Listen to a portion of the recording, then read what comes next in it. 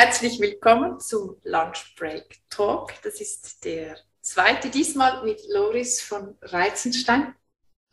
Wir haben schon zusammen die Ausbildung gemacht zum Coach und ich kenne sie dementsprechend schon recht lange.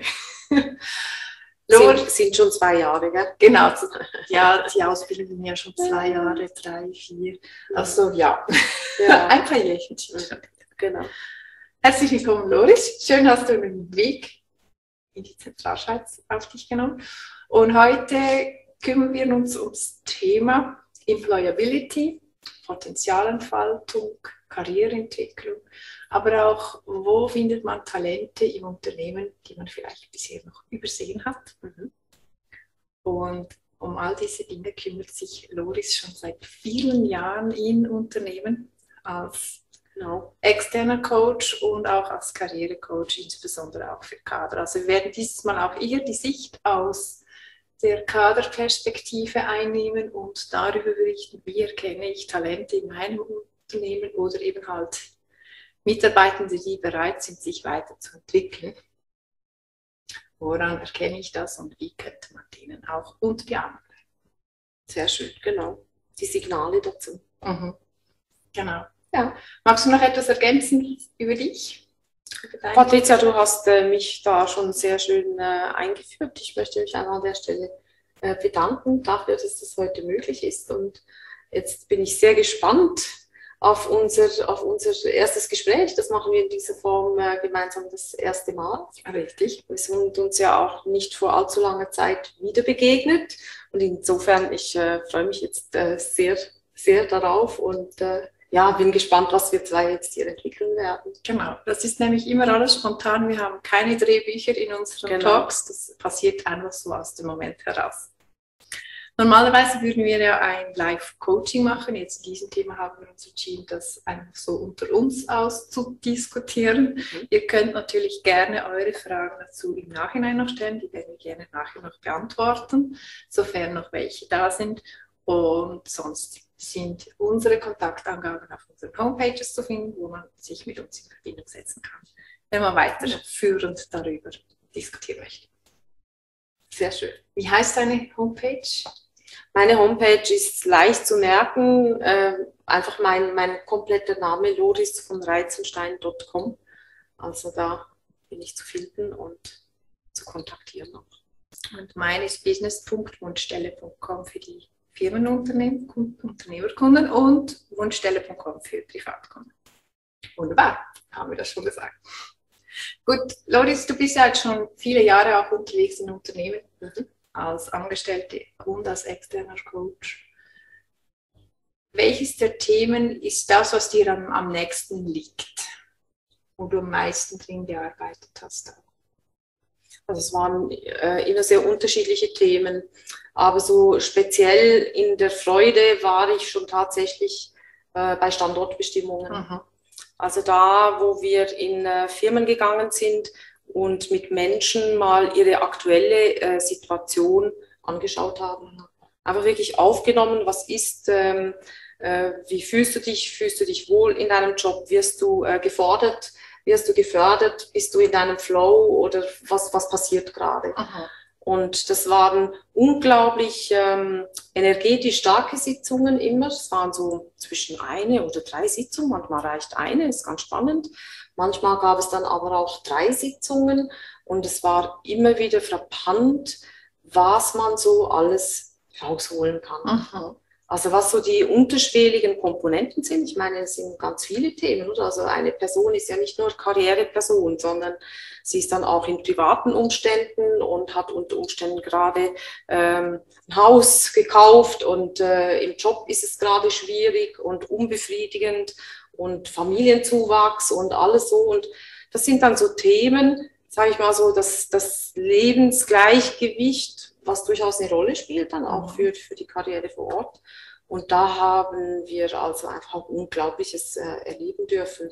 Alleine dann durch diese Aufnahme und das offen sprechen können. Es geht mhm. ja immer darum, dass man mit jemandem sprechen kann, der nicht involviert ist, der mich nicht kennt und bei dem ich nicht befürchten muss, äh, da wird was weitergetragen oder der lacht jetzt über mich. Es braucht wirklich diese, diese dritte Person, mhm ähm, die zuhören kann, die richtigen Fragen stellen kann und dann entsprechend ebenso all das, was jetzt so ineinander spielt, es darzulegen, es äh, aufzuzeigen, erscheinen zu lassen, es dann durch und mit dem Coachee sortieren zu können. Ja? Und dadurch können dann, durch die neuen Einblicke, kann dann Unglaubliches passieren. Mhm. Ja. Ich habe das ja schon erlebt, als ich als Karriereentwicklerin in der Unternehmen selber angestellt war, also als Coach. Und da war ich zuständig für rund 200 Mitarbeitende schweizweit in dieser Zeit von den vier Jahren, wo ich das gemacht habe. Ja. Und ich habe wirklich mir die Zeit genommen, mit jedem Einzelnen ein persönliches Gespräch zu führen. Viertelstunde, halbe Stunde. Ich bin in jede Filiale der ganzen Schweiz gereist und habe mir die Zeit genommen. Das war sehr aufschlussreich, weil ja. am Schluss wusste ich so viel mehr als die Vorgesetzten. Mhm wer wo steht, was er will, welche Talente er sie hat. Und das hat eine ganz, ganz große Auflistung gegeben von Potenzialen, Potenzial. die wir da haben. Ja. Da würde ich gerade gerne gerade äh, einhaken und zwar, also ich weiß nicht, wie es dir ergangen ist, weil du jetzt gerade die Linie angesprochen hast, was äh, meine Wahrnehmung war jetzt in dieser Standortbestimmungsthematik, war tatsächlich so, die Linie die waren so absorbiert mit ihrer Funktion der Linie. Mhm.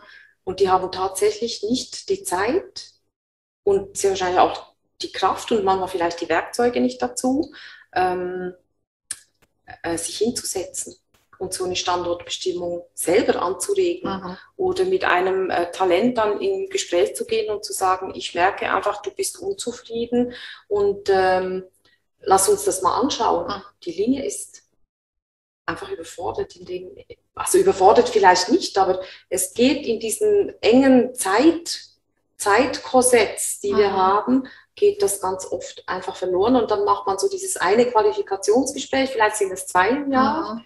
und damit ist es dann aber auch und das geht ja nach Schema. Mhm.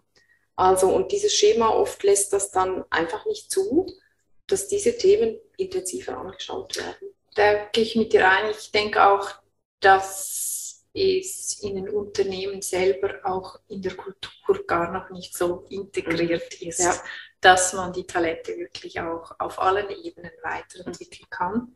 Ja. Äh, oft habe ich da natürlich auch Anforderungen angetroffen an den Arbeitgeber, die vom Arbeitnehmenden, die gar nicht möglich waren, strukturell nicht. Mhm. Wir haben uns aber dann hingesetzt und mal geschaut, was können wir außerhalb von den bestehenden Strukturen ja. an neuen Strukturen bauen oder eben die Strukturen ändern, ja. damit die sich auch weiterentwickeln können. Und wir haben dann eigentlich uns entschieden, nicht hierarchische Entwicklungen zu machen, sondern Fachentwicklungen. Mhm. Das heißt, auf der gleichen Ebene, aber mit zusätzlichen Aufgaben betraut in Projekten oder in Schulungen. Mhm. Und das hat dann also doch, diversifiziert. Absolut. Ja. Und das hat dann doch 60 Mitarbeitende, die haben dann im Onboarding und im Trainingsprozess mitgearbeitet. Die waren top motiviert. Ich habe immer täglich Anfragen bekommen, mhm. hast du noch Trainer? Mhm. Brauchst du noch Trainer? Mhm. Ich würde das auch sehr gerne machen. Mhm. Und ja das sind einfache Möglichkeiten, wie man das anpassen kann. Ich glaube aber, dass wir schon viele Schritte zurückgehen können und schon bereits in der Rekrutierung darauf, wenn jetzt die Arbeitnehmenden in einem mhm. Interview kommen und sagen, das kann ich nicht gut, oder gibt es jemanden, der das besser macht mhm. oder schon ja. besser kann im Unternehmen, ja. dass man auf diese Impulse schon hört und mhm. vielleicht jemanden einstellt, mhm. der eben sagt, hey, diesen Teil vom von der Stellenbeschreibung liegt mir nicht. Gibt es jemand? Meine Erfahrung ist, es gibt jemand im Team, der das schon Der dieses Talent wirklich für sich hat und dass ja. man jederzeit auch ähm, in Anführungszeichen anzapfen könnte. Genau, und das nicht getan mhm. hat, weil strukturell bisher nicht gepasst mhm. hat, weil natürlich ähm, die Stellenbeschreibungen, die sind so. Mhm. Und wenn man die aber dann ein bisschen anfängt, fein anzupassen für die neue Person, die reinkommt und denen zu geben, die, die schon ja, da sind, das zu geben, was sie vielleicht schon länger machen wollten. Und es braucht dazu aber zwei Komponenten, wenn die Angestellten selber nicht mitteilen, was sie lieber möchten, weil sie es vielleicht nicht wissen mhm. oder sich nicht getrauen oder denken, es ist eh nicht möglich. Ja. Äh, und der jetzt der Vorgesetzte das auch nicht macht, weil er denkt, hey, es geht ja wahrscheinlich nicht strukturell, ich habe die Zeit dazu, das nicht zu mhm. organisieren. ich glaube, dann ist so eine gute Lösung von externen Partnern. Jemand äh, reinzuholen. Und dennoch muss es die Kultur ja des Unternehmens muss es offen haben. Also es muss so, wie du sagst, wenn das kulturell verankert ist, dann habe ich es ja von Anfang an drin. Und das heißt, äh, meine Kommunikation da drin und meine Struktur wird dann durch diese Kultur geprägt sein. Ja. Also ich glaube schon durchaus, wenn ein Unternehmen das in der Kultur nicht hat, die Entwicklung und das sich öffnen wollen und das äh, immer stärker die Potenziale von den Einzelnen rauszuholen, dann, ähm, dann wird es nicht geschehen. Also ich denke schon, die, die, die Absichtserklärung, die Intention eines Unternehmens sollte in der Vision oder sollte in der Ausrichtung doch dieses, äh, dieses äh, klassische Growth-Thema, also das Wachstumsthema auf, auf der menschlichen Ebene durchaus drin haben. Ja, ist Schlussendlich kommen wir Menschen zur Arbeit, weil wir uns entwickeln wollen, nicht nur als Fachkraft, sondern als Menschen. Ja, das denke ich ist ein ganz zentraler Punkt. Und es bleibt auch zu sagen, dass ich arbeite immer mit den vier Grundcharakteristiken im Unternehmermachertyp. Das ist, wer die DISC-Analyse kennt, der rote Typ, das ist der Unternehmer. Dann der gelbe, der Innovator, das ist der, der Influencer-Typ, der gerne äh, ein Einfluss nimmt auf andere Menschen, auf ihr Verhalten aktiv, damit ein angenehmes Klima entsteht. Diese zwei Typen, die sind sehr schnell darin, weil es geht einerseits beim Unternehmertyp auf die fachliche Entwicklung ja. hinaus, auf den Status in einer Unternehmung hinaus und beim Innovator eben halt auf die menschliche Entwicklung. Der will sich als Mensch weiterentwickeln. Die zwei verliert man schon, wenn man ziemlich lang wartet mit Weiterentwicklungen. Also was sprechen wir da, Patricia? Wir haben es im Vorfeld auch mal ähm, mhm. Ausgetauscht. Was ist deine Erfahrung? Wie schnell langweilt sich denn so ein Macher oder wie, wie schnell langweilt sich ein äh, Innovator? Was glaubst du? Der Machertyp, wenn er die Aufgaben schon gemacht hat vorher und sich eigentlich jetzt nur in die Branche einarbeiten muss, mhm. ist recht schnell gelangweilt. Mhm. Er braucht zwingend eine Perspektive, dass er sich hierarchisch auch weiterentwickeln kann oder sein Einflussbereich sich weiterentwickeln kann in den Unternehmen innerhalb von ein, zwei Jahren. Mhm. Und der Innovator, wenn ihm das Team gut gefällt oder die Kultur gut gefällt, ist ihm die, sagen wir mal, die fachliche Weiterentwicklung nicht so sehr wichtig. Ähm, wenn er ein, ich denke, da ist es so, dass wenn es ihr wohl ist, dieser Person, dann wird sie so drei Jahre. Aber im dritten Jahr muss man schon was gehen. Also spätestens nach drei Jahren. Ja. So eine Karriere, ein Karrierelebezyklus kann man das ein, ja schon, ja, ein schon fast Schritt äh, muss dann nennen. Also da muss man spätestens dann in die Vorbereitung für was, äh, für was Ende des Jahres. Ja, genau. Also was meine Erfahrung da drin ist, ist auch je nachdem, ähm, wie jeder Mensch ausgerichtet ist. Also ist jemand Richtung äh, Menschenführung, ist jemand mhm. äh, Richtung Sozialem oder ebenso Leadership unterwegs. Mhm. Dann bedient er ja diese menschliche Ebene und braucht so die Fachspezialistenebene nicht zwingend. Aber ganz oft erlebe ich in, in der letzten Zeit einfach auch Menschen, die, die beides können, mhm. die beides spannend finden. Also mhm. das, das, Fachgebiet sowie ähm, das Führungsthema auch spannend finden. Mhm. Und da finden wir dann plötzlich ganz viele Projektleiter. Ja, ja da sind wir im Projektmanagement daheim, wo man ja. so genial ähm, alles verbinden kann. Ja. Und ein Projekt äh, führt man und in der Regel geht so ein Projekt ein Jahr oder vielleicht zwei oder mhm. auch ein großes Projekt vielleicht mal drei. Und dann ist wieder gut und dann kommt das nächste Projekt. Genau. Aber wichtig ist, dass das ja ein Mensch rausfindet, mhm. dass er genau diese Vorliebe hat für beides. Mhm.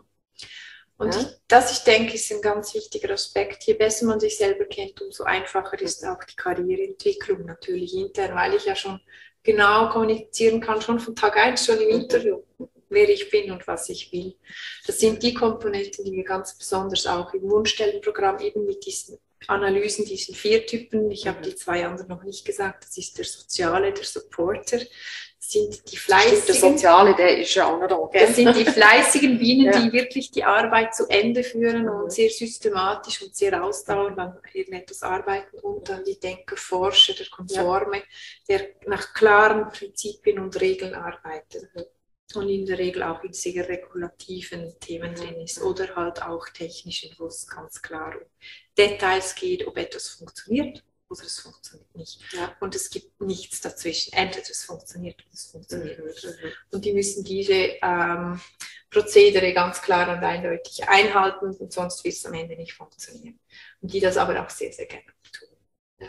Also bei denen ist es so, die haben einen anderen Zyklus. Die sind in der Regel, bis sie mal vertraut sind mit allen Regeln und allen, mhm. mit der Kultur und mit mit allem brauchen die auch ein bisschen länger, weil sie sehr, sehr gründlich sind. Also im vierten Jahr sich weiterentwickeln ist dann völlig okay oder auch gar nicht. Auch acht Jahre den gleichen Job machen, wenn man vielleicht ein paar Kompetenzen mehr hat. Das sind dann einfach schon, diese Routine-Themen, aber ich denke, wir brauchen ja für alle Dimensionen den passenden Menschen und es braucht ja auch diejenigen, die diese, wie soll ich denn, soll ich denn sagen, diese, diese Fleißigen, die so ja, einfach das tun, was zu tun ist und es gerne machen. Ja. Also ebenso dieses Automatisierte, das Routinierte. Und diese Menschen fühlen sich ja in diesen, äh, in diesen Herausforderungen, in diesen Arbeiten ja auch sehr wohl. Ja. Und ich glaube, jetzt sind wir bei der, bei der Thematik, ja. dass wir unsere Teams genau nach diesen Prinzipien auch idealerweise aufbauen, dass wir genau die Menschen für das einsetzen, wo sie ihre Stärken haben absolut richtig. Und ich denke auch, wenn wir sagen, Routineaufgabe haben, das oft wird das dann von den Unternehmern oder Innovatoren sagen, ja, die machen ja die Routine nicht gerne. Ja. Und weil es so viel Detailarbeit ist, was sie nicht gerne machen. Genau, da kommt die Ungeduld dann hoch. Gell? Das heißt aber, Routine ist, muss nicht zwingend einfach sein. Das kann auch höchst komplexe Routine sein, wie es vor allem auch beim Denker-Forsch-Typ mhm. ist. Das sind höchst komplexe, komplexe Prozesse. Das heißt, es ist überhaupt nichts Einfaches und es ist für einen Unternehmer, Innovator sogar unglaublich schwierig, an diese Prozesse immer und immer und wieder zu halten, weil die also gerne die Prozesse immer wieder anpassen und über Bord werfen. Also ihr seht, das ist nicht zu verwechseln mit einfach, ja, das sind die Einfachen und das sind die, die weiterkommen wollen, überhaupt nicht. Ähm, es ist tatsächlich so, jeder Mensch ist für etwas anderes geschaffen. Mhm und hat Vorlieben. Und wenn man die weiß und kennt, ist das Teambuilding einfacher. Die Führung wird unglaublich einfach, weil man genau weiß, welche Aufgaben gebe ich wem. Und da kann ich auch starten, dann die Selbstverantwortung wirklich zu übertragen. Also wirklich zu sagen, okay, also wir haben jetzt festgestellt, dass du äh, dieses Talent hast, diese Stärken und dass du das und das noch äh, vielleicht draufsetzen kannst. Mhm. Und jetzt übergebe ich dir das. Es ist deine Verantwortung, dass du schaust, dass du jetzt in deinem Talent äh, wachsen kannst und dass du jetzt schaust, dass du das entwickelst. Sofern die Person Also das, das ist dann so ja. richtige Ownership. Ja, ja also genau. ich habe den Besitz für meine Karriere dann wirklich äh, in meinen Händen. Absolut richtig und, und bin da ja. dann im Driving Seat mhm. und kann, kann schauen, dass das, äh, dass das wirklich wird. Mhm. Und es braucht natürlich die Strukturen, die Kultur dazu und mhm. eben die Bereitschaft von jedem Einzelnen. Und ich glaube, da ist das Prinzip Freiwilligkeit mhm. so wichtig, wenn jemand nicht will, weil er eben, wir haben es am Anfang angesprochen, aus privaten Gründen vielleicht jetzt gerade nicht die Kraft hat, ja. sich da auch noch drum zu kümmern, weil gerade ein frisch geborenes Baby zu Hause ist und man nächtelang nicht schlafen kann zum Beispiel. Also es gibt immer irgendwelche Umstände, die das ähm, verzögern können, aber es sollten sie nie verhindern. Ja. Da sind wir eigentlich auch dann gleich wieder im Thema Leadership. Mhm. Also da braucht es doch eine sehr reife Führungskraft, die eben solche Elemente, wie du jetzt auch gerade äh, gezeichnet hast, äh, die das aufnimmt und äh, die dann sagt, das hat auch Platz, ich nehme dich jetzt da raus. Ähm, da gibt es eine Aufgabe, die so und so ist, da könntest du in Ruhe das ohne Stress jetzt bewältigen und sobald es dir besser geht und du aus dem anderen, äh, aus der anderen Baustelle raus bist, dann mhm. können wir weiterschauen. Mhm.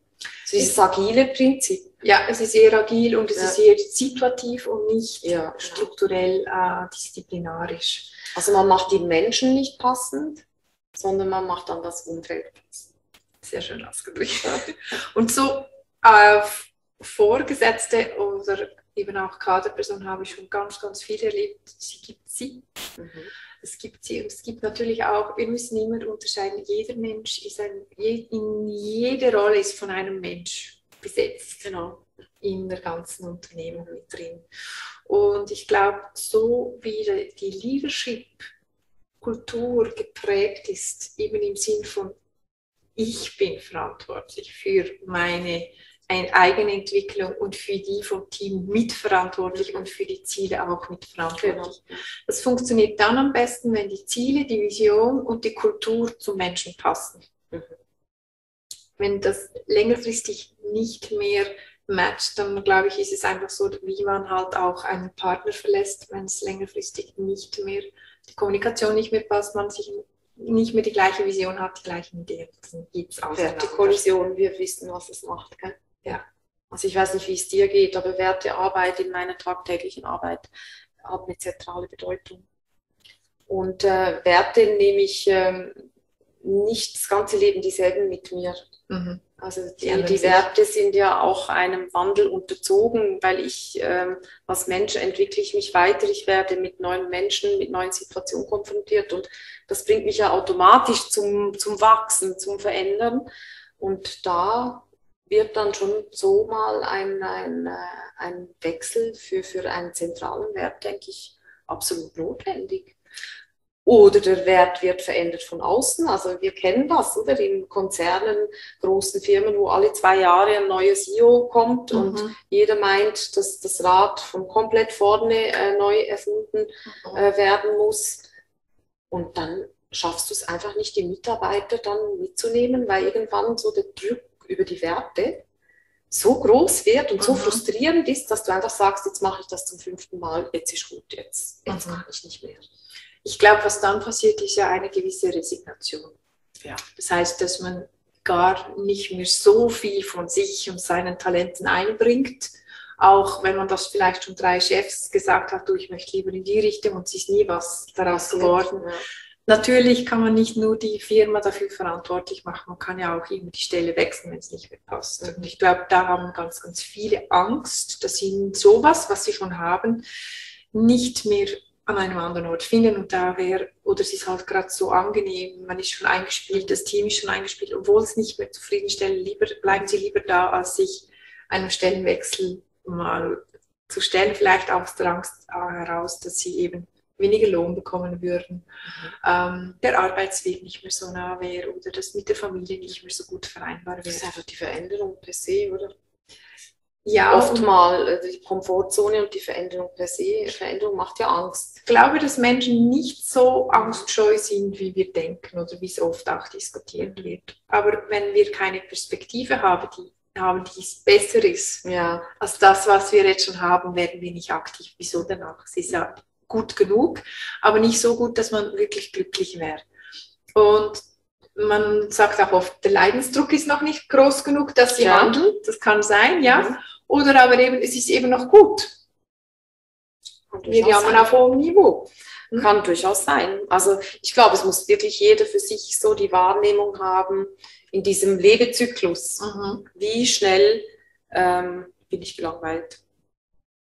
Wie lange dauert es, dass ich aus diesem Flow rauskomme? Wie lange dauert es, dass die Anforderungen im Außen mir zu wenig sind?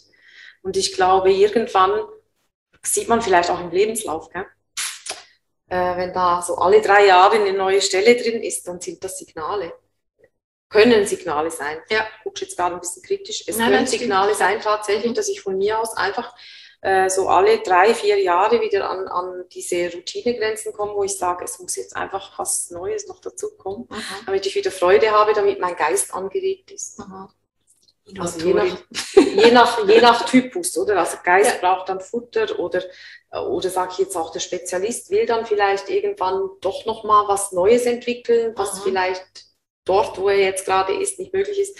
Also jeder muss das für sich selber rausfinden und entsprechend dann steuern. Es gibt ja auch die andere Seite, wo man, ähm, also die Langeweile, das Boredom, mhm. oder aber auch dann die Überforderung. Und genau. die Überforderung kann natürlich auch sein, wenn ich jetzt nicht dazu neige, mich mit zu vielen Details zu befassen. Mhm. Und ich muss mich ständig mit Details befassen. Dann ist das genauso eine Überforderung von mir, für dein typ weil ich dafür ja. nicht geschaffen bin. Ah, absolut. Genau. Und so hat jeder Typ seine Eigenheiten und seine, seine, ich sage mal, Grenzwerte, wo es irgendwo dann einfach mal genug ist, und man sagt so, und jetzt muss ich einfach wieder was machen, das mir wirklich liegt, mit ja, einem genau. Umfeld, mhm. das mir gefällt und mit Aufgaben betraut sein, die, die ich gerne tue. Mhm. Ich glaube, wir tun uns selber, ja. unseren Familien, unseren Kindern nichts Gutes, wenn wir diese Impulse übergehen. Ja. Und wenn wir das jetzt aus Sicht vom Kader ähm, diskutieren, dann müssten wir sagen, ah, worauf muss man denn schauen, dass man diese Zeichen nicht übersieht bei den eigenen Mitarbeitenden zum Beispiel. Oder bei sich natürlich auch. Genau. auch das sprichst du natürlich an. Als Vorgesetzte brauche ich sehr viel Aufmerksamkeit meinen Mitarbeitern gegenüber. Wieso? Ich muss am Puls sein, oder? Ich muss beobachten können. Ich muss ja meine Leute kennen, dass sich so diese Feinheiten, die sich verändern, äh, in der Familie spüre ich das ja vielleicht noch. Ja? Mhm. So, aber wenn ich dann, sage ich mal, äh, weiß auch nicht, 40 Leute führe, habe ich sie denn alle im Blick? Und merke ich dann wirklich, ist, ist schon eine Herausforderung. Das ist also, nicht machbar. 40 Leute direkt. Ist schon, ist schon viel und, und, und ja, woran merkst du es? Ist mhm. noch spannend. Also wir selber merken es auch erst relativ spät. Wir merken es erst dann, wenn wir uns rausquälen morgens und mit wenig Freude in den Montag gehen und denken, ach nee, am liebsten würde ich jetzt daheim bleiben und hoffentlich habe ich jetzt bald die nächsten Ferien. Und also diese, diese, diese Zeichen, äh, sind von dir selber aus wahrzunehmen. Und ich denke, der Vorgesetzte könnte es merken, wenn die Leichtigkeit fehlt, die Freude oder die Energie für Projekte oder für Aufgaben, wenn es vielleicht länger dauert oder ich merke, hm, die Laune oder die Stimmung ist gedrückt, äh, Körperhaltung, Körperspannung.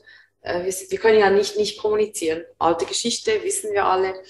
Und da braucht man aber schon einfach auch ein Gespür und auch das Wollen, dass ich das wahrnehme. Aha ich glaube, es braucht dann schon auch wieder ein spezieller Typus Mensch, der, der äh, in der Führung dann solche Dinge erlebt und auch ansprechen kann.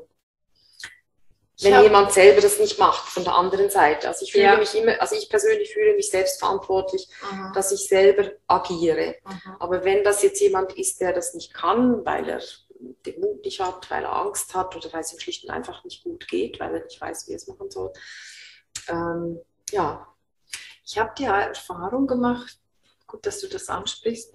Ich habe, ich wurde zweimal gekündigt und beim ersten Mal habe ich wirklich, glaube ein Jahr lang immer am Morgen gedacht, ach, jetzt muss ich wieder diese langweiligen Aufgaben Siehst du? also ich habe da auch ganz viel Archiv aufgeräumt oder die Ablage gemacht und ich war schon immer seit der Lehrzeit schlecht in der Ablage. Ich habe das auch immer kommuniziert, aber mir wurden diese Aufgaben trotzdem gegeben. Dafür bist du zuständig und ich habe es nicht gut gemacht und trotzdem musste ich es immer machen.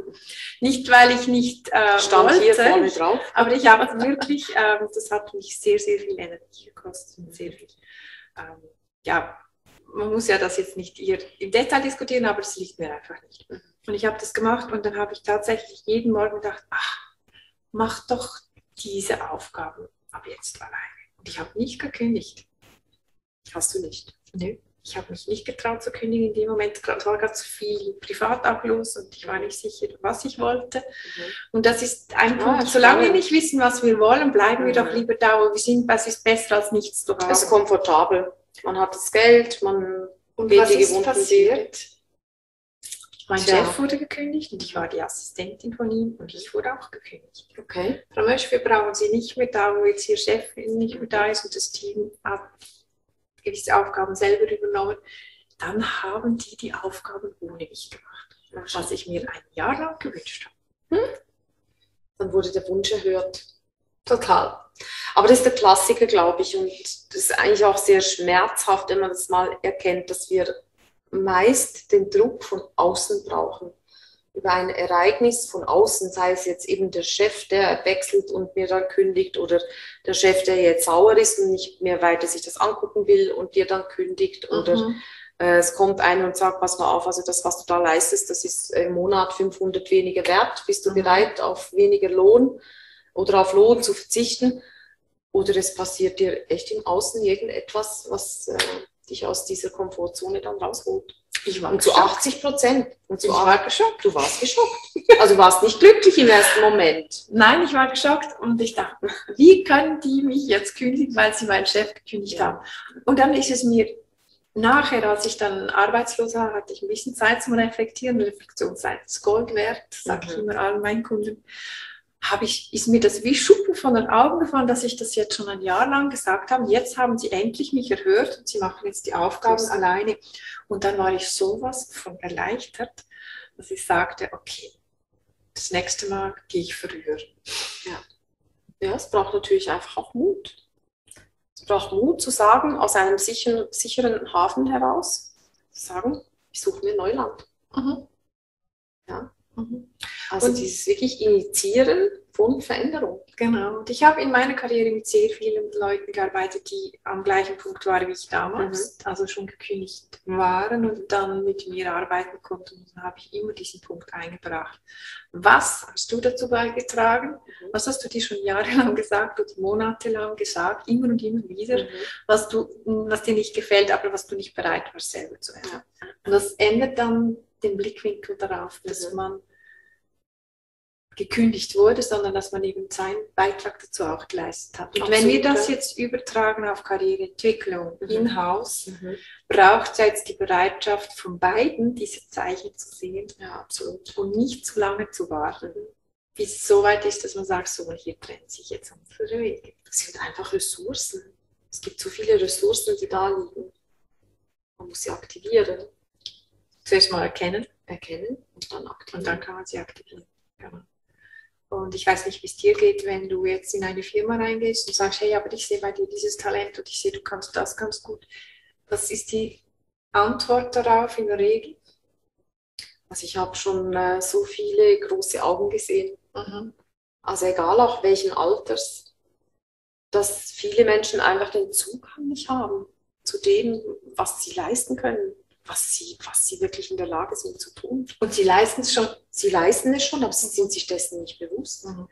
Und ähm, ich liebe diese Arbeit, dieses äh, Potenziale aufzeigen. Ich habe da so einen ganz eigenen Weg, das herauszuarbeiten und es ist unglaublich.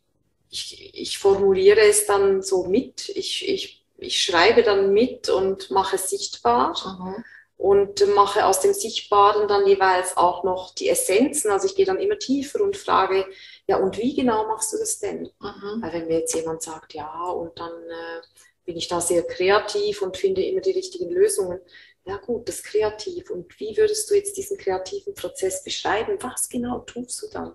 Wie gehst du vor und wie passiert es dann? Wie taucht dann das alles auf, was du da so jetzt mit einem Wort versuchst zu beschreiben? Und dann entsteht aus einem Wort entsteht eine Welt. Mhm. Das ist ganz so eine, eine kleine Welt. Mhm. Und die hat dann Farben, die hat vielleicht auch Klänge, die zeigt ein Bild und das ist dann so stark und so völlig unerwartet. Ach so, habe ich das noch gar nicht betrachtet. Mhm. Und deshalb, das finde ich so das Tolle in dieser Arbeit dann, dass man wirklich mit, mit es ist so wie ein Licht anknipsen. ein, oder ein Beleuchten, weißt ja, du? Ja, genau. Also du stellst eine Lampe und, und beleuchtest einfach mal so den einen Part und dann, und dann erscheint das in, in, in vollem Glanz mhm. und kann ganz anders angeschaut werden und überhaupt das erste Mal angeschaut werden. Ja? Und das macht natürlich sehr viel. Also das heißt, ich sehe es und da kann plötzlich so ein gewisser Stolz auch auf das, auf das Können oder auf das Geleistete kann dann werden. Und das sind Momente, die finde ich einfach so die, das einfach so die sind Gold wert. Ja. Und ich denke auch, was, was darin noch mitschwingt, ist oft, ja, das ist ja normal, das kann ja jeder.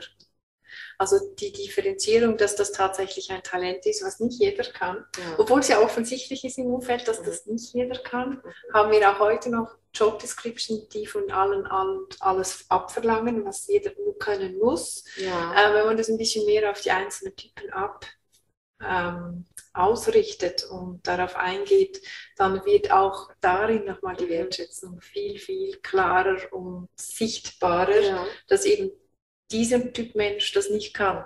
Ja. Und dieser Typ Mensch kann das gut und der andere das. Der Innovator zum Beispiel ist sehr gut sprachlich. Ja. Er kann es gut formulieren und hat tatsächlich ein Improvisationstalent. Talent, ja. Der kann unter Druck gute Ideen entwickeln und diese auch kommunizieren und andere mitreißen, damit das noch im letzten Moment gelöst wird. Ja. Sind super in, in der Eventorganisation oder überhaupt da, wo es eben ganz kurzfristig neue Lösungsansätze braucht, die über das, was bestehend äh, da war, hinausgehen. Ja. sind top darin. Mhm. Wenn man jetzt in eine Bewerbung reinschreiben würde, ja, ich habe Improvisationstalent, mhm. würde das ein bisschen komisch ankommen. Das heißt, die Kontext arbeiten nicht so gerne vielleicht.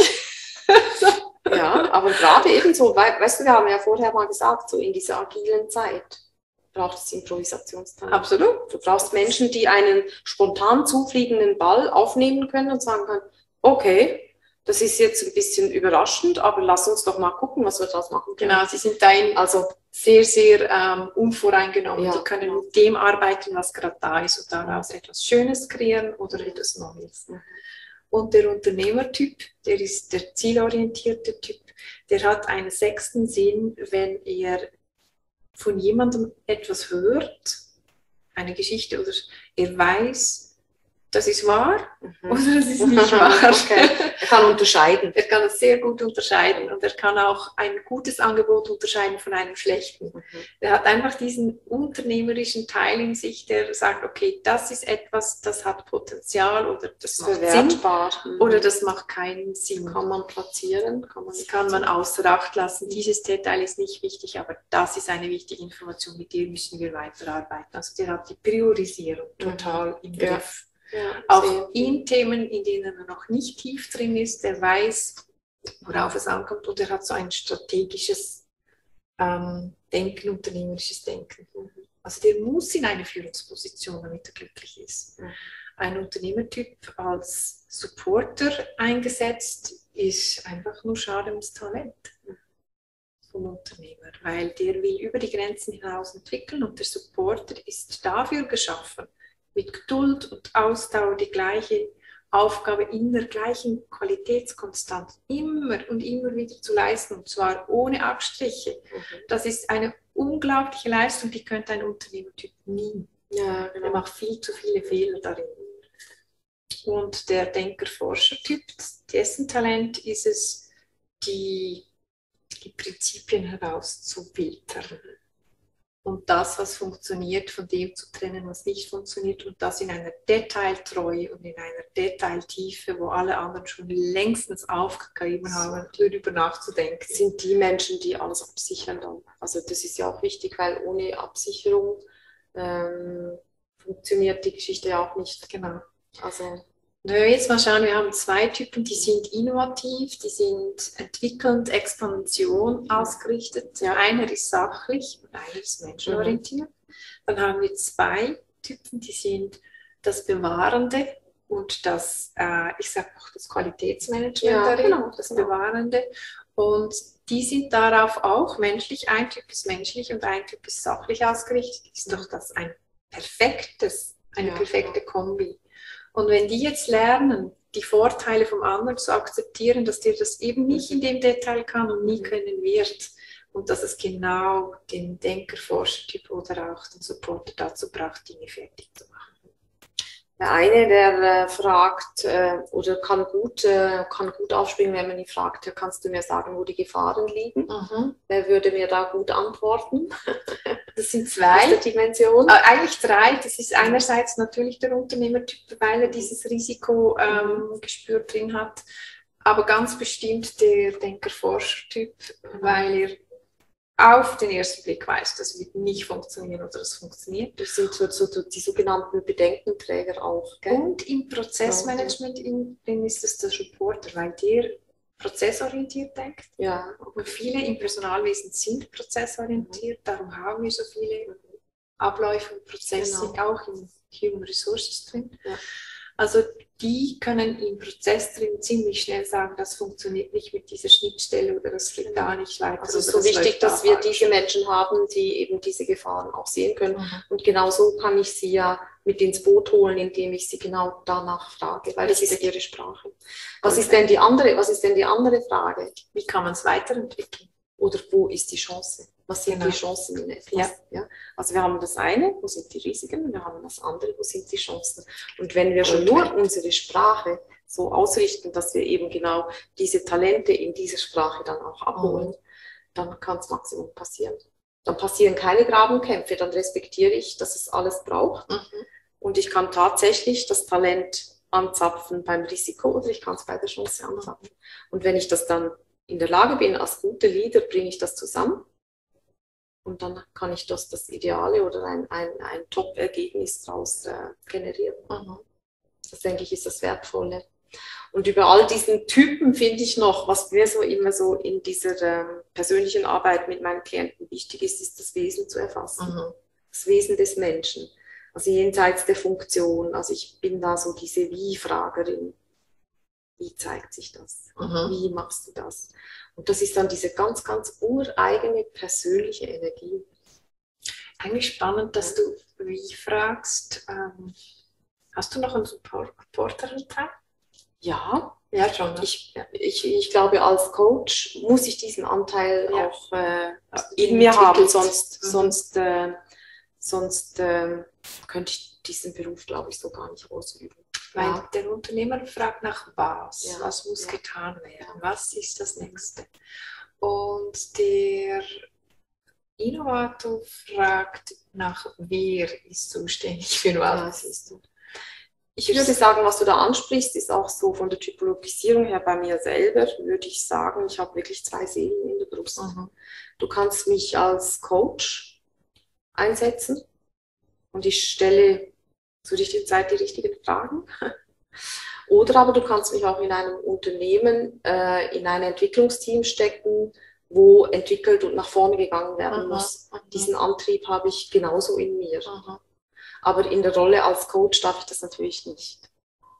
In der Rolle als Coach nehme ich mich zurück und versuche über, über, über Instrumente meinem Gegenüber diesen Raum zu geben, den er oder sie braucht, um das eigene einbringen zu können. Mhm. Also da darf ich diese Interferenz als solches gar nicht. In der Rolle als Coach gehe ich auch mal über die Grenzen hinaus und mache einen Vorschlag, wie wäre es denn? Mhm. Ich lasse aber die Entscheidungsbefugnis immer beim Kunden. Das ist aber eine Frage. Mhm. Ja, also mhm. da ist immer schon wieder die richtige Frage zum mhm. richtigen Zeitpunkt, weil die Fragen öffnen ja. Aber ich gebe so natürlich Impulse rein. Ich das weiß nicht, wie alle die Impulse Nein, nein, das ist schon richtig. Also mhm. Impulse, da bin ich schon bei dir. Das sind für mich die Fragen, die so wichtig sind, die dann so mal eine Blase auch anstechen. Jetzt mal angenommen, du bist engagiert in einer Unternehmen, diese Potenzialanalyse zu machen und auch die Mitarbeiter dann zu begleiten in der Karriereentwicklung. Mhm. Wie gehst du vor? Was erwartet ein Unternehmen? Wie viel Aufwand ist das ungefähr? Das äh, ist äh, sehr unterschiedlich. Ich habe, wie gesagt, eingangs habe ich, glaube ich, gesagt, es kann mit einer Sitzung schon sehr wertvoll mhm. sein, dass Menschen dann so quasi so, wenn sie irgendwo ein bisschen sich im Kreis drehen, den Ausgang aus dem Kreis wiederfinden mhm. und dann gehen können. Und dann habe ich aber auch schon erlebt, dass es drei, vier Sitzungen oder fünf Sitzungen gewesen sind, mhm. je nach Thematik, die drunter lag. Aber eine reine Standortbestimmung, so dass man mal aussortieren kann und wirklich einen neuen Weg aufzeigen, so mit drei bis, bis fünf Sitzungen kann man. Also ah, anderthalb Stunden so. Ja, anderthalb bis zwei Stunden. Meine Erfahrung ist so mhm. anderthalb Stunden. Eigentlich in der Regel brauche ich zwei. Mhm. Man ich vertieft sich so schnell und ist dann so in den Themen drin, dass in zwei Stunden braucht man sehr schnell. Fünf Sitzungen kann man richtig tief gehen auch und, und das Fundament so legen, dass genau. es nachher auch wirklich trägt. Das habe ja, ich genau. Also um es sichtbar zu machen, braucht man sicherlich äh, zwei Sitzungen äh, zwei bis drei, je nachdem, wie komplex die Situation ist oder mhm. jede Situation oder mhm. jedes persönliche Schicksal oder jedes persönliche, jede persönliche Geschichte ist, ist ja anders.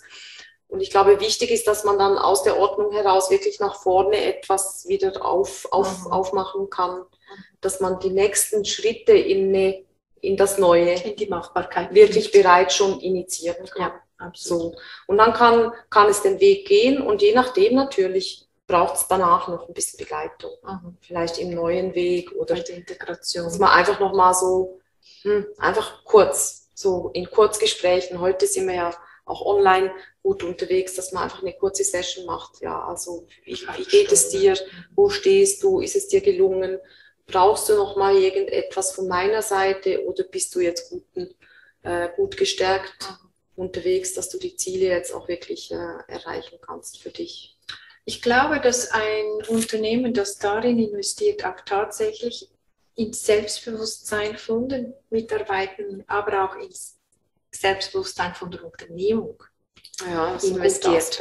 Und wenn man jetzt Vertrauen hat in die eigenen Talente und Vertrauen hat in deine Talente, haben wir schon ganz, ganz viele Kontrollmechanismen, die einfach so wegfallen.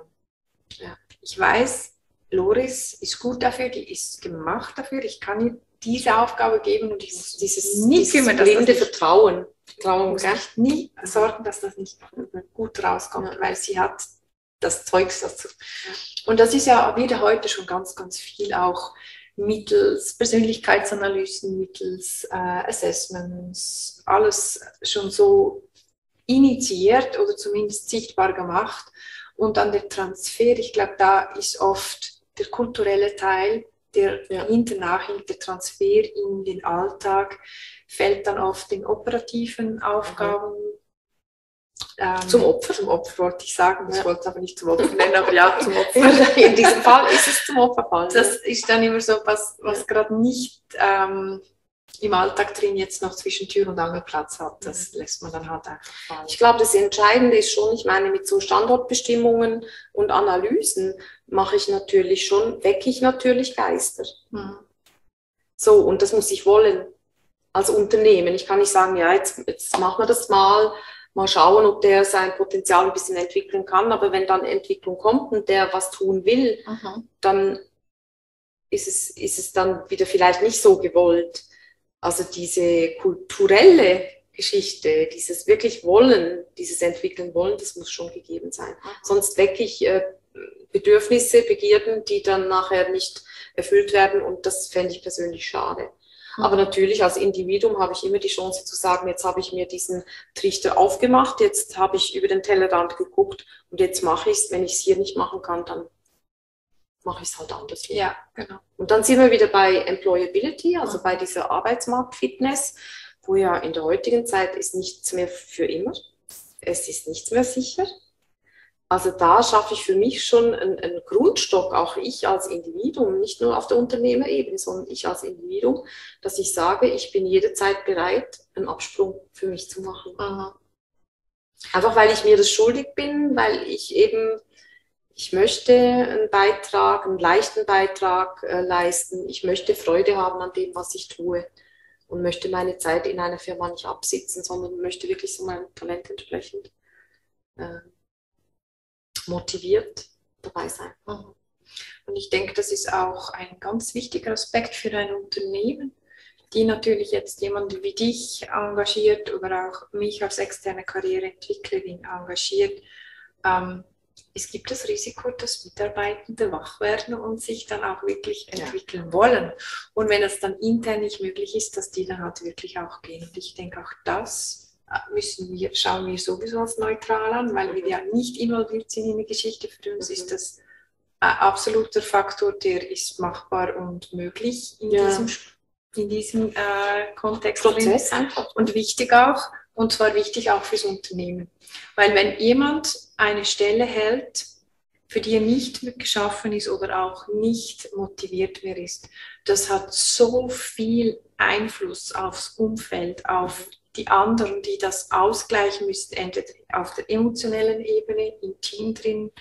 Äh, man kommt vielleicht übergelaunt, man muss das aushalten als Teamkollege. Ja, Hat sehr viel mit Motivation, Atmosphäre zu tun. Mit der Atmosphäre, genau. Oder auch die Arbeiten werden nicht mehr ganz so ähm, enthusiastisch und korrekt ausgeführt. Und das muss ja auch immer wieder, dann gibt es einen Kontrollmechanismus darum, mhm. dass das trotzdem noch auf einer gewissen Qualitätsebene bleibt und man schaut ein paar Monate zu, vielleicht ein Jahr, vielleicht zwei Jahre, ist dann eine Kündigung ausgesprochen. Das genau. heißt, das Team hat schon recht viel gegeben. Mhm. Stimmt. Und die das Energie, die wirtschaftlich absolut nicht akzeptabel. Ist aber schade, wenn man natürlich dann zwei Jahre wartet. Also man könnte das am Anfang schon im Gespräch evaluieren oder eben in einer Analyse, damit man weiß, wo will sich diese Person hinbewegen und dann halt schon klar sagen, können wir oder können wir nicht. Genau. Und dann kann man aber im Umfeld ganz, ganz viel mehr Arbeit. Aber wir sehen jetzt mal Patricia, gell? also wenn man wirklich ähm, Menschen führen will, ist halt wirklich nicht äh, das Machen der Sache, im Vordergrund, sondern es ist wirklich das Menschenführen. Mhm. Und das, man muss sich schon damit beschäftigen wollen. Und man muss das gerne tun. Weil wie oft, bei, gerade bei Machertypen, erlebt man, dass denen das einfach irgendwann zu mühsam wird. Mhm. Zu psychologisch oder zu, ich weiß auch nicht, da hört man ja so, diese, so ein paar Standardsätze immer mal wieder. Aber ich denke, auch da braucht es tatsächlich dieses, ähm, man muss Menschen mögen und man muss ähm, sie fördern wollen. Fordern und fördern. Und das ist natürlich schon eine Aufgabe. Das ist, eine das ist kein Spaziergang. Nein, das ist eine richtig große deshalb, Aufgabe. Deshalb, man muss es wollen. Es muss ja. einem wirklich da es muss einem wirklich liegen. Das ist auch wichtig. Im Kaderbereich natürlich wird oft auch so rekrutiert aufgrund der fachlichen Fähigkeiten, aber die zwischenmenschlichen Fähigkeiten, ähm, die werden nicht unterstützt vom Unternehmen. Und das ist auch, wenn man intern sich weiterentwickelt, vom Teamkollege zum Vorgesetzten und dann nochmal eine Kaderstufe holt, das ist, glaube ich, das sind die einsamsten Jobs, die mhm. es gibt in einem Unternehmen drin, wo man meist wenig Unterstützung hat. Ähm, diese neuen Fähigkeiten oder das zu integrieren, was jetzt auf einen zukommt. Weil man ist in, in der Sandwich-Position unten Druck, oben Druck ja. und dann noch all die Erwartungen, die man innerhalb kürzester Zeit auch noch umsetzen soll. Das kann ich mir schon vorstellen, dass es nicht ein Spaziergang ist und auch die Motivation vom Kader irgendwann mal, von dieser Kaderperson irgendwann mal einfach reicht und sagt, mach doch das selbst. Ja, genau. Also es braucht eine sehr, sehr dicke Haut. Eine dicke. Auch, eine, auch da drin eine Vision.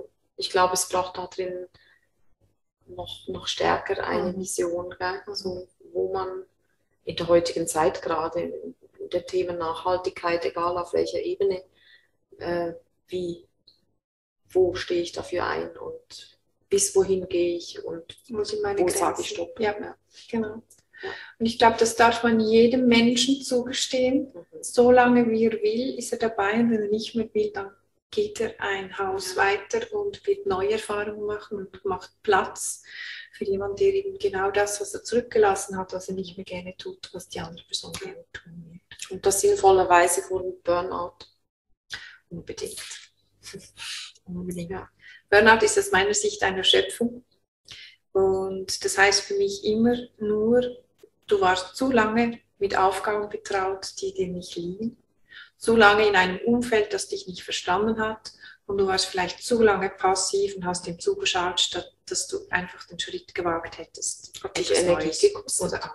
Es hat dich Energie gekostet. Und du sollst dafür sorgen, dass du gewinnst. Ja, genau. Im Talentebereich, und das ist das Schöne, ja. kannst du den ganzen Tag arbeiten und am Abend kommst du mit mehr Energie nach Hause und glücklich und zufrieden, weil du in diesem Bereich drin arbeitest. Ah ja, bist vielleicht manchmal schon auch müde, aber äh, ja. es ist so ein zufriedenes, ein zufriedener Zustand dann. Genau.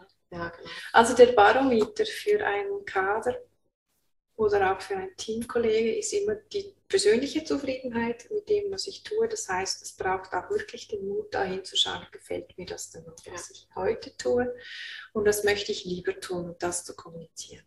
Genau. Und auch das, finde ich, muss ab und zu mal reflektiert sein.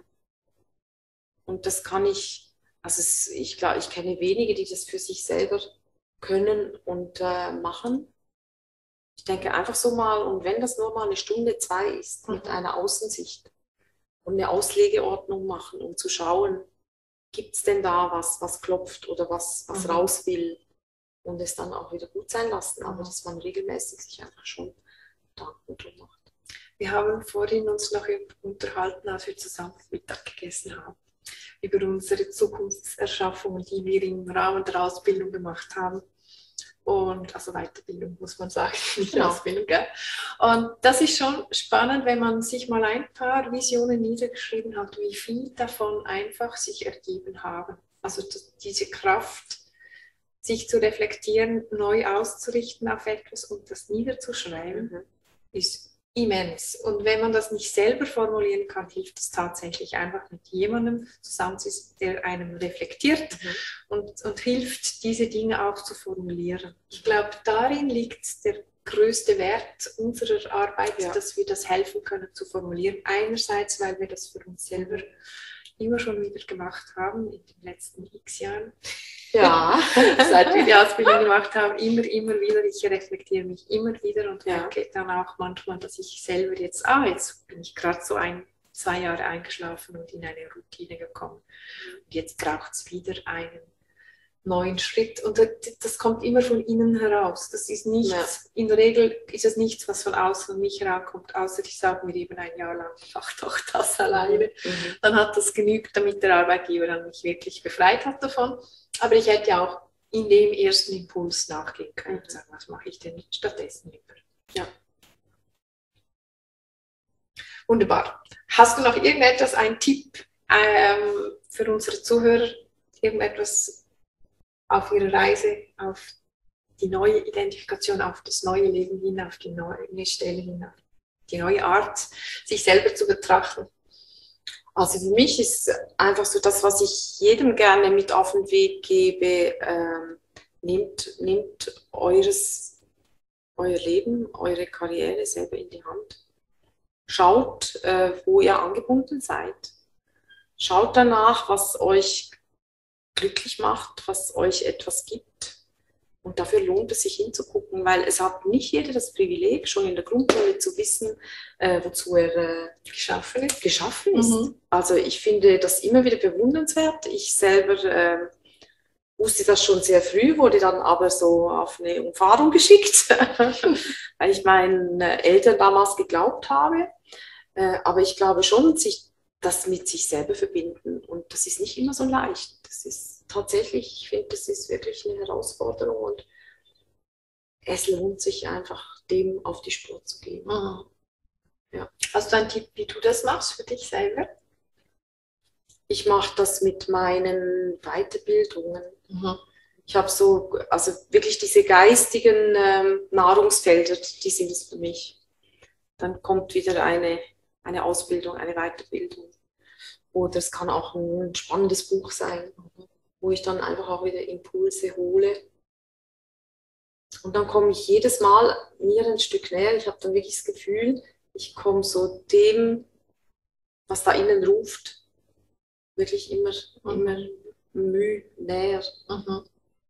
Ich glaube, darum geht es, oder dass man sich ausrichtet auf das, was eigentlich schon in sich drin ist und was man gerne in die Welt jetzt noch, in der Welt jetzt noch ja. erleben möchte. Also es ist so wie ein Entdecken oder ein Aufdecken. Mhm. Wir sprechen mhm. zwar immer von entwickeln, mhm. aber ich glaube, es ist wirklich so wie ein, oder weißt du was, so dieses Bild vom Bildhauer, der einen mhm. Stein hat, oder das hat Michelangelo doch ähm, auch selber gesagt, dass er nie weiß, was er aus dem Stein rausholen wird. Er fängt an und fängt zu klopfen an und der Stein wird äh, genau, wird ihm die Antwort dann geben, was Aha. er wegnehmen muss, kann. Und dann entsteht das in, in wie sagt man so schön, im Tun, im Tun, im Tun erschaffen. Genau. Und das Spüren nämlich, was, was, was, was habe ich da vor mir und gehe ich in Resonanz mit dem, tut es mir gut oder ist es dann doch nichts und der eine ist langsam, der andere schneller, aber das würde ich einfach jedem und schon in jungen Jahren auch äh, Eltern ja, mit ihren Kindern. Schaut hin und äh, hört euren Kindern zu. Mhm. Und schaut ihnen wirklich zu, wie sie die Dinge machen und ermuntert sie in ihrer Art, die Dinge zu machen. Das wäre schon ein großer Schritt, dass ich mich auch immer wieder hinter die ist fünf, ja, genau. Ja.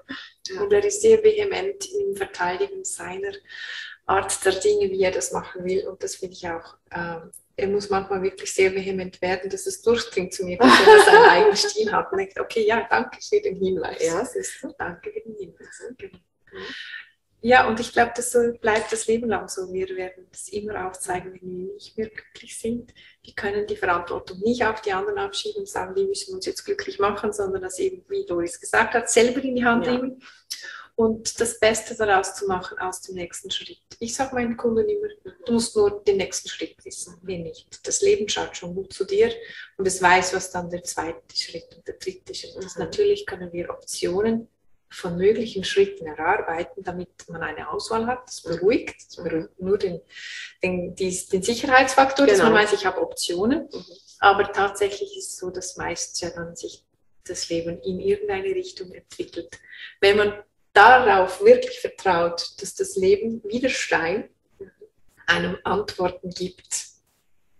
Ja, es ist tatsächlich, wenn ich einen Fokus neu setze, also ich nehme Feldstecher und ich gucke jetzt auf ein neues Feld, dann werde ich ganz andere Dinge sehen. Mhm.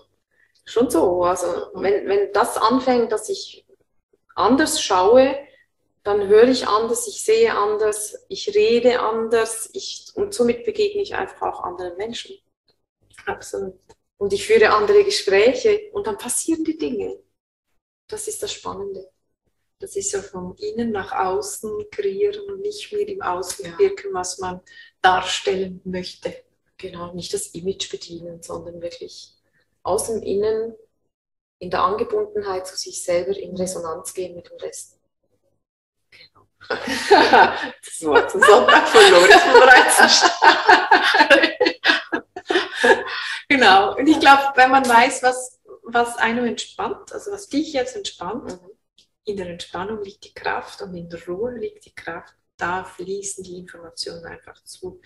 Für mich ist das die Kaffeepause oder mal ein Musikstück hören oder im Wald spazieren gehen ja. oder einfach auch nur unterwegs zu sein im Auto oder zu reisen. Es gibt so viele Möglichkeiten im Alltag die uns ermöglichen, eben so in diese Verbundenheit, wie du es nennst, zu kommen und diese Impulse zu empfangen. Und ein, eine Aktion, die aus einem Impuls, der von innen gekommen ist, ist so viel mehr wert als 100.000 Aktionen, die man ohne Anbindung gemacht hat. Aufgesetzt, genau.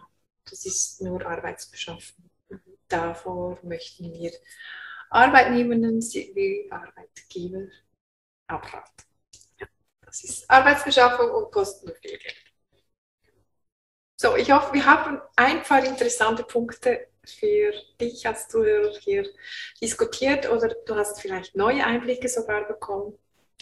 Wir werden diesen Podcast aufladen auf unserer Homepage unter der Reihe Lunch Break Coaching auf meiner Homepage www.wunschstelle.com und businesswunschstelle.com. Und Loris, wirst du es auch bei dir hochschalten? Deine Homepage? Ich denke, das wird passieren. Wunderbar. auch noch auf loris von reizenstein.com. Schön, seid ihr dabei, habt ihr bis zum Ende zugehört und jetzt wünschen wir euch ganz, ganz viel Erfolg damit, eure Talente herauszufinden und im Leben, wie soll ich das sagen, zu begegnen. Zu begegnen. Sehr schön ausgedrückt. Danke vielmals.